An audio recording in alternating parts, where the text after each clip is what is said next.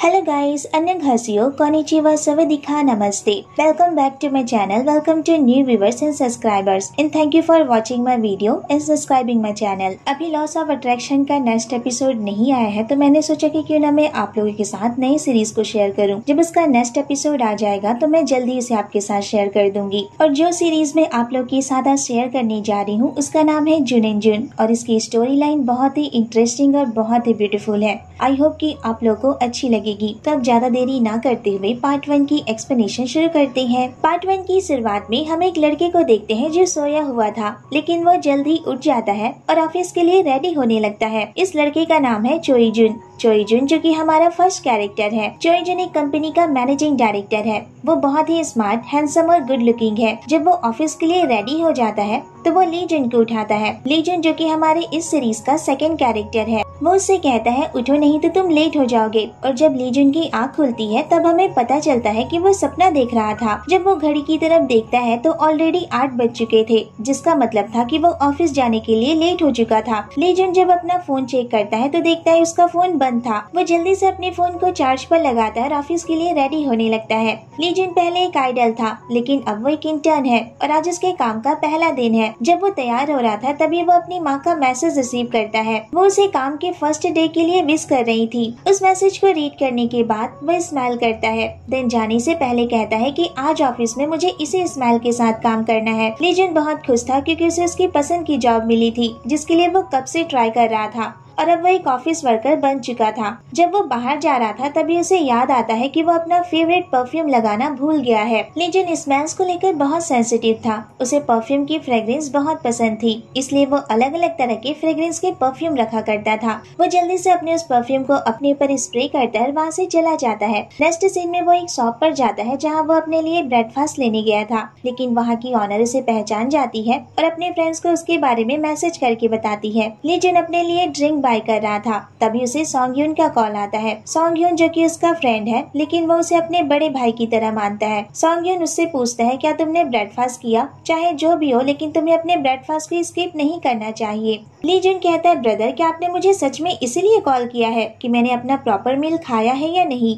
जबकि इससे पहले तो आप मुझे पानी का एक सिप भी नहीं लेने देते थे। लेकिन फिर एक मिल्क का पैकेट लेता है और काउंटर पर पेमेंट के लिए जाता है। तभी उसे सौगेन बताता है कि सब्वे की लाइन के ऊपर एक्सीडेंट हो गया है, जिसकी वजह से सारी सब्वे आज बंद कर दी गई है। ये सुनकर लीजन को शौक लगता है। तभी वो शॉप ऑनर उसे पेमेंट के लिए कहती है, लेकिन लीजन उसे इशारे से चुप रहने को कहता है, ताकि सोंगन को पता न चल जाए कि वो अभी भी वही है। सोंगन उससे कहता है, वेल, तुम एक्सीडेंट होने से पहले सब्वे से आ गए थे ना? लीजन कहता है हाँ मैं अपने काम के पहले दिन कैसे लेट हो सकता हूँ? लीजन उससे झूठ कह रहा था। वो तो स्टेशन गया ही नहीं था। पेमेंट करने के बाद वो जल्दी से बाहर आता है। सोंगन उससे कहता है ऑफ़िस में मिलते हैं और कॉल रख देता है। लीजन फिर टैक्सी लेने जाता है और एक जगह पर जाकर खड़ा हो जाता है, जहाँ पहले से एक लड़की खड़ी हुई थी और वो भी टैक्सी का वेट कर रही थी। उस लड़की को लीजन को देखकर गुस्सा आता है, क्योंकि वो उसके सामने खड़ा हो गया था। तो वो उसके सामने जाकर खड़ी हो जाती है। लीजन उससे कहता है सॉरी लेकिन अगर तुम्हें बुरा न लगे तो क्या मैं ये पहली टैक्सी ले सकता हूँ? आज सच में मेरा बहुत इम्पोर्टेंट डे है और मुझे जल्दी से जल्दी ऑफ़िस पहुँचना है। तो वो लड़की कहती है, जिसका नाम किम योंग था, किसका काम इम्पोर्टेंट नहीं होता है?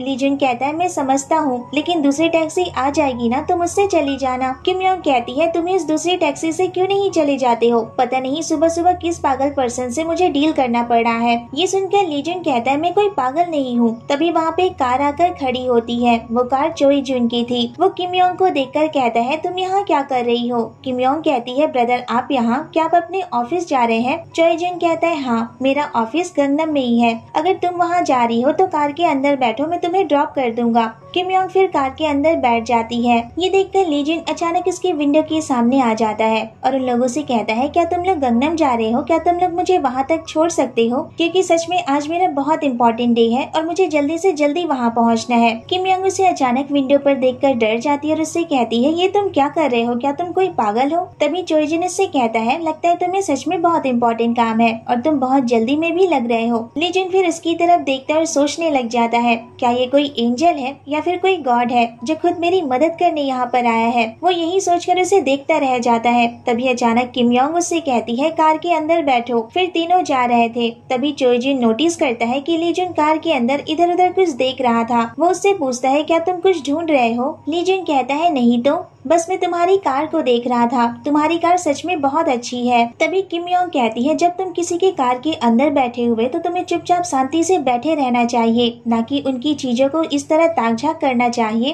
और स्निफ करना चाहिए। ये बहुत ज़्यादा इरिटेटिंग है। अचानक तभी लीजन की नज़र वहाँ रखे वेडिंग इनविटेशन पर जाती है, जिससे लेवेंडर की बहुत स्वीट स्मेल आ रही थी। लीजन उसे स्मेल करता है। तो चोइजन उससे कहता है, इसकी खुशबू फ्लावर की तरह है ना? लीजन कहता है हाँ ये लेवेंडर की फ्रेग्रेंस है, जो मुझे बहुत पसंद है। फिर सॉरी कहकर उस कार्ड को नीचे रख देता है। चोइजन कहता है, मैंने रिसेंटली एक वेडिंग इन्विटेशन रिसीव किया है, और इसमें अरोमा ऑयल को स्प्रे किया गया है, और मुझे लगता है की एक अच्छा आइडिया है। किम योंग कहती है ब्रदर आप सच में बहुत काइंड हो। क्यों ना आप बस स्टेशन के सारे पिजन्स को उठा कर ले आओ। आप एक ही को क्यों लेकर जा रहे हो? ऐसा कहकर वो लीजन की तरफ़ देखती है। चोयजन कहता है लेवेंडर आपके माइंड को शांत करता है। आप इसे रिलैक्स फील करते हो। ये स्ट्रेस और टेंशन को फ्री करने में ये बहुत हेल्पफुल है। ये सुनकर लीजन कहता है, इसलिए मुझे ये बहुत पसंद है। तुम्हें तो सेंस के बारे में काफ़ी नॉलेज है। उन दोनों की बातें सुनकर किम योंग कहती है कि आप दोनों पहले से एक दूसरे को जानते हो, जो इस तरह बात कर रहे हो। इस पर चोइजन कहता है, तुम भी तो उससे अभी अभी मिली हो ना तो उससे इतना रूडली क्यों बात कर रही हो? किम योंग फिर लीजन की तरफ़ देखती है और कहती है, मुझे लगता है कि ये फैमिलियर है, इसका चेहरा जाना पहचाना लगता है। लीजन कहता है, ऐसा नहीं हो सकता,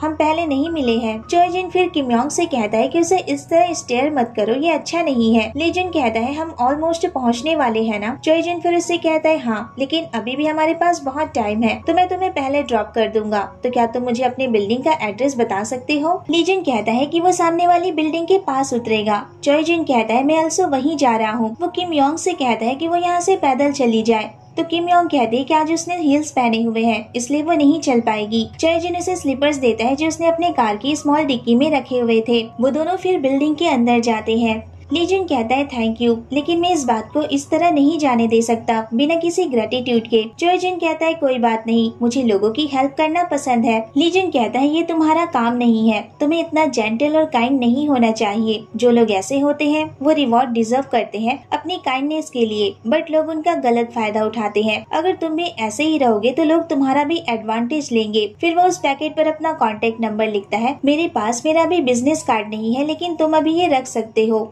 चोयजिन वो पैकेट ले लेता है और उससे कहता है कि ऑलमोस्ट नौ बज चुके हैं। ये सुनकर लीजिन वहाँ से जल्दी में जा रहा था, लेकिन उसका पैर मुड़ जाता है और वो गिर जाता है, पर चोयजिन उसे पीछे से पकड़ लेता है और यहीं पर दोनों पहली बार एक दूसरे की आँखों में देखते हैं। लीजिन उसके बहुत करीब था, जिससे वो उसकी परफ्यूम की फ्रेग्रेंस को स्मेल कर सकता था। वो कहता है, ये स्मेल तो मुझे जानी पहचानी लगती है। फिर वो उससे अलग हो जाता है और थैंक यू कहकर वहाँ से चला जाता है। उसके जाने के बाद चोयजिन स्माइल करता है। उसे देखकर ऐसा लग रहा था जैसे वो सच में लीजन को पहले से जानता है, तभी उसे सॉन्ग का कॉल आता है और वो उससे कहता है कि वो जल्दी से ऑफ़िस आ जाए, क्योंकि डायरेक्टर के आने का टाइम हो चुका है और वो टाइम के बहुत पक्के है। और अगर वो लेट हुआ तो डायरेक्टर के सामने उसका फ़र्स्ट इम्प्रेशन बहुत बुरा पड़ेगा। ये सब चोयजिन भी सुन रहा था। फिर एक लड़की लिफ्ट से बाहर आती है और वो चोइजिन को ग्रीट करती है। चोइजिन लिफ्ट के अंदर जाता है तो सामने खड़े लोग भी उसे ग्रीट करते हैं। लीजिन को ये देखकर थोड़ा अजीब लगता है। तभी चोइजिन उससे कहता है, अगर तुम अभी नहीं गए तो तुम लेट हो जाओगे। इसलिए मेरे साथ चलो। लीजिन उसके साथ लिफ्ट में चला जाता है और सामने खड़े लोग उन दोनों को ही देख रहे थे। लीजिन कहता है, तुमने सच में आज मेरी बहुत हेल्प की है। पता नहीं तुम्हारा ये एहसान मैं कैसे चुकाऊँगा? चोइजिन कहता है तो क्या इसमें वो पर्सन भी शामिल है जिससे तुम अभी फ़ोन पर बात कर रहे थे? लीजन कहता है हाँ और ये जॉब भी मुझे उन्हीं की वजह से मिली है। लीजन कहता है, वो मेरे सिबलिंग्स जैसे हैं। तो चोइजिन हंसता है और कहता है तो वो तुम्हारा भाई जैसा है। इवन उसने तुम्हें वैल्यूएबल इन्फॉर्मेशन भी दी है कि ऑफ़िस में डायरेक्टर हमेशा टाइम पर आ जाता है। लीजन कहता है हाँ वैसे मैंने फ्लोर का नंबर नहीं दबाया जहाँ मुझे जाना था। चोइजिन कहता है, ये इलेवेंथ फ्लोर ही है। लीजन फिर उस कंपनी के बैनर को देखता है जहाँ वो काम करने वाला था और वो कहता है, तुमने सही कहा। चोइजिन कहता है, अब जब तुमने मेंशन कर दिया है कि तुम फेवर के बदले रिपे करना चाहते हो तो मैं तुम्हारे लिए कुछ और भी करना चाहता हूँ। दोनों फिर लिफ्ट से बाहर जाते हैं। चोइजिन उससे कहता है, क्या तुम जानना चाहते हो कि तुम अपने ऑफ़िस अपने डायरेक्टर से पहले कैसे पहुँच सकते हो? मैं तुम्हें बता सकता हूँ। लीजन कहता है, क्या तुम ये भी जानते हो? चोइजिन फिर उसे अपने साथ चलने को कहता है। लीजिन उसके साथ जाता है और थोड़ी देर में वो दोनों ऑफ़िस के सामने होते हैं। उन दोनों को देखकर ऑफ़िस के सारे एम्प्लॉय सॉक्ड रह जाते हैं और चोइजिन को डायरेक्टर कहकर ग्रीट करते हैं। ये सुनकर लीजिन को शॉक्ड लगता है और वो उससे कहता है, तुम डायरेक्टर हो? तो चोइजिन उसके पास आकर कहता है, अब तो तुम्हें पता चल गया है ना कि तुम अपने डायरेक्टर से पहले कैसे ऑफ़िस आ सकते हो? पर लीजिन को अभी भी विश्वास नहीं हो रहा था कि आखिर ये सब क्या हो रहा है। चोइजिन फिर सभी को गुड मॉर्निंग विश करता है और कहता है कि, आज से सारे इंटर्न्स काम शुरू करने जा रहे हैं और फॉर्चुनेटली कोई लेट भी नहीं हुआ है। फिर वो सारे इंटर्न्स को अपने ऑफ़िस में इंटरव्यू के लिए बुलाता है। नेक्स्ट सीन में संघ्योन लीजुन से कहता है, लगता है तुम्हारा आज का पहला दिन बहुत चाउटिक रहा है। तो लीजुन कहता है, मुझे तो फील हो रहा है जैसे की मेरा पहला दिन थोड़ा ऑकवर्ड है। सोंग्युन कहता है, ये तुम्हारा पहला ऑफ़िस जॉब है और तुम्हें सिर्फ़ लोगों के नाम और उनके पोजीशन को याद रखना है। लीजुन कहता है, पर वो इस बात को लेकर परेशान नहीं है। वो इस बात को लेकर परेशान है कि वो यहाँ फिट हो पाएगा या नहीं? सोंगिन फिर उसे मैनेजिंग डायरेक्टर के बारे में बताने लगता है और उसे बताता है कि वो यहाँ के नहीं बल्कि यूएस के हैं और उनका मेन ब्रांच वही है। लेकिन हमारी कंपनी के सेल्स बहुत डाउन हो रहे थे और कंडीशन अच्छी नहीं थी। इसलिए न्यू डायरेक्टर को यहाँ पर अपॉइंट किया गया और जब से ये न्यू डायरेक्टर यहाँ पर आए हैं, हमारी कंपनी की सेल्स बढ़ गई है और हमारी टीम भी बहुत अच्छे से काम कर रही है। ये बहुत ही टैलेंटेड है। इसलिए तुम चिंता मत करो। इन सब की आदत तुम्हें बहुत जल्दी हो जाएगी। लीजन कहता है, तब तो फिर सच में वो बहुत अच्छा इंसान है। सोंग्यून कहता है हाँ वो ग्रेट है। देन उससे पूछता है, वैसे तुम दोनों आज सुबह एक साथ कैसे आए? तो लीजन उसे बताता है कि वो टैक्सी से आने की प्लानिंग कर रहा था, पर उसे टैक्सी नहीं मिल रही थी। तभी अचानक वहाँ चोईजुन आ जाता है। चोईजुन उसे बताता है कि कॉन्सिडेंसली हम दोनों मिले और मैंने मिस्टर ली की हेल्प की। सॉन्गिन फिर उसे कॉफ़ी देता है। चोइजिन उसे थैंक यू कहता है और जाते जाते लीजन से कहता है कि वो उसके ऑफ़िस में आए। ये सुनकर लीजन घबरा जाता है। यहाँ पर सारे इंटर्न्स अपने अपने इंटरव्यू के बारे में बात कर रहे थे। तो एक लड़की कहती है, हमारे इंटरव्यू के रिज़ल्ट हमारे प्रोजेक्ट के बेस पर डिपेंड करते हैं। तो एक लड़का कहता है, मुझे तो लगता है की इन लोगों ने कनेक्शन के बेस पर किसी को पहले ही हायर कर लिया है और हमें ऐसे ही काम करवाना चाहते है। यहाँ पर ये लोग लीजुन के बारे में बात कर रहे थे। तभी वहाँ पे लीजुन आता है और उसने ये सारी बातें सुन ली थी और उसे बहुत बुरा फील हो रहा था। तभी एक लड़की कहती है, हम सभी तो यहाँ रिकमेंडेशन के बेस पर ही आए हैं। तो इसमें प्रॉब्लम क्या है? लीजुन फिर इसे थैंक यू कहता है। देन लीजुन चोजुन के ऑफ़िस जाता है। तो चोजुन उससे कहता है, अब फेवर का रिपे करना आसान होगा ना? और हम अक्सर एक दूसरे से मिलते रहेंगे लीजुन उसकी बात नहीं समझ पाता है। तो चोजुन कहता है, लगता है तुम्हारा फेवर के बदले रिपे करने का कॉन्सेप्ट झूठ था लीजुन कहता है, नहीं, वो डेफिनेटली उसकी हेल्प के बदले उसे रिपे करेगा। ये सुनकर चोजुन स्माइल करता है। और उसे कहता है तुम्हारा रिज्यूमे दूसरों से काफ़ी रिफ्रेशिंग और अलग है। क्या तुमने कैफ़े में भी काम किया है? क्या सच में कैट्स के लिए ऐसा कोई भी कैफ़े होता है? तो लेजेंड उसे बताता है हाँ जहाँ पर कैट्स का ध्यान रखा जाता है और उन्हें खाना दिया जाता है। देन उसे कहता है, तुमने हमारी कंपनी के प्रोडक्ट पर तब ध्यान देना शुरू किया जब हमने उसके फ्रेग्रेंस पर काम करना शुरू किया। क्या तुम इसे एक्सप्लेन कर सकते हो? वो कहता है, जब वो कोई इम्पोर्टेंट काम करता है या फिर किसी मुसीबत में फंस जाता है तो कोई होता है जो हमेशा उसकी हेल्प करता है और फ्रेग्रेंस के साथ उसे एडवाइस भी देता है। इसलिए वो इस कंपनी में काम करने के लिए इंटरेस्टेड है, जो परफ्यूम के फ्रेग्रेंस पर ज़्यादा फोकस करती है और यही ज़्यादा इम्पोर्टेंट है। जो जिन कहता है, वो पर्सन कौन है? क्या वो मिस्टर सॉन्ग यून है? उन्होंने ही तुम्हारा रिकमेंडेशन लेटर भी दिया था। वो तुम्हारी सच में बहुत हेल्प करते हैं। लीजुन कहता है हाँ मैं उनके लिए सच में बहुत ज़्यादा ग्रेटफुल हूँ। जो कहता है मिस्टर लेजुन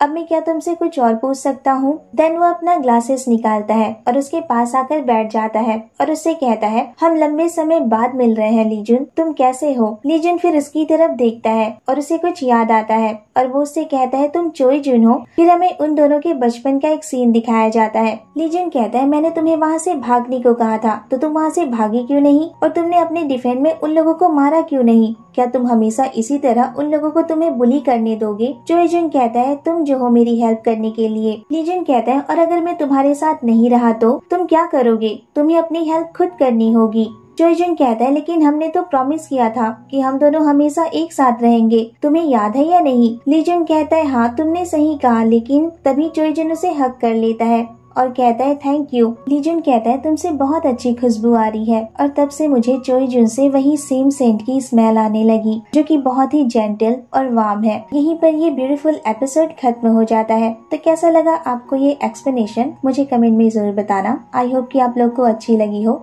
अगर वीडियो अच्छी लगी है तो वीडियो को लाइक कर देना शेयर कर देना अपने फ्रेंड्स के साथ। और अगर अब तक आप लोगों ने मेरे चैनल को सब्सक्राइब नहीं किया है तो प्लीज़ सब्सक्राइब कर लेना और बेल आइकन को भी प्रेस कर लेना। Okay guys, thanks for watching the video. Bye bye, take care.